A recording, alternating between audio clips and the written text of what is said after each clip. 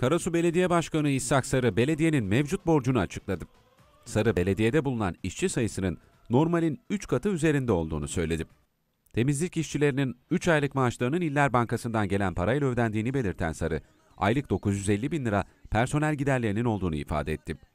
Belediyenin mevcut borcu hakkında açıklamalarda da bulunan Sarı, toplam borcun 128 milyon 132 bin lira olduğunu açıkladı.